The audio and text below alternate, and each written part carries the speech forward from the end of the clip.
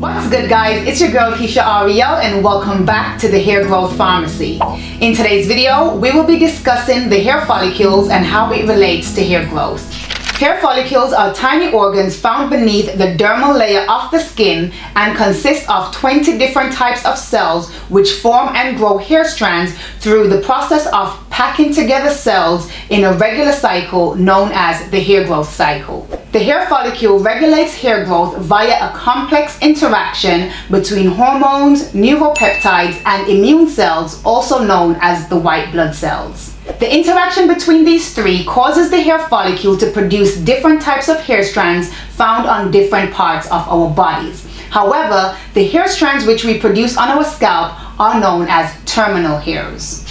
There are three layers of the skin and they are the epidermis which is the outermost layer of the skin, the dermis also known as the dermal layer which is the inner layer of the skin and also the hypodermis which is made of fat and connective tissues. In the dermal layer of the skin, the hairs on our bodies grow from a live follicle which is rooted in the hypodermis. With that, as the epidermis or scalp is the first line of defense for our hair follicle, it is important that we take good care of our scalp and avoid causing any damage as this could negatively impact the hair follicle.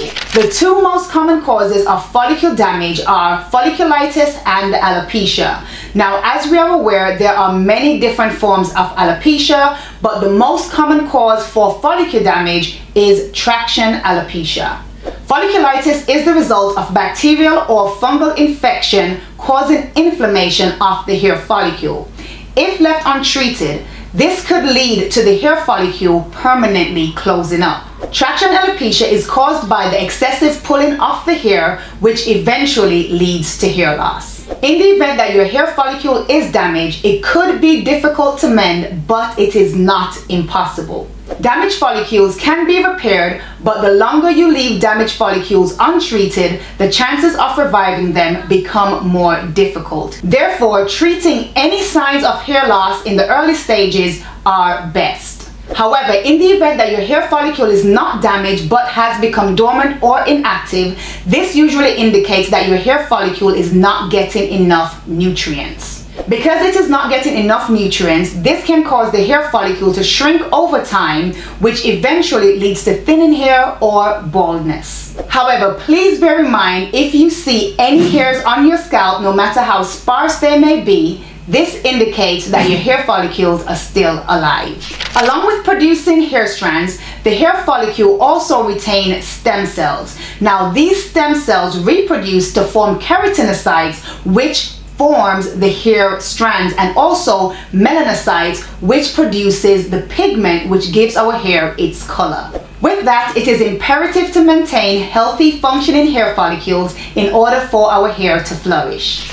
Ways in which you can encourage the development of healthy hair follicle would include avoiding tension, doing scalp massages, using natural oils such as avocado oil, olive oil, coconut oil, jojoba oil, etc. And also incorporating natural remedies such as, you know, onion juice or even doing herbal hair mask. But most importantly, incorporating a plant-based diet which is packed with all your vitamins and minerals so that you can have your daily recommended intake of nutrients because as we know a deficiency in certain nutrients can lead to hair loss. Although all minerals and vitamins are very important for the development of healthy hair and hair follicles, some of the most important ones to include are vitamin A, vitamin B complex, vitamin C, vitamin D, vitamin E, also iron and zinc, as well as proteins. To learn more about foods rich in these particular vitamins, then please see the cards listed above here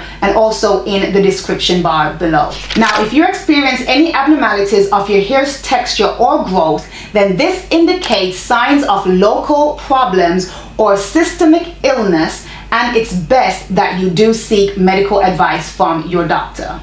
Okay, so that's it for today. I hope you guys enjoyed today's video. And if you did, then please be sure to like, comment, share, and subscribe if you are not already subscribed. So until next time, we will be right back here with another video.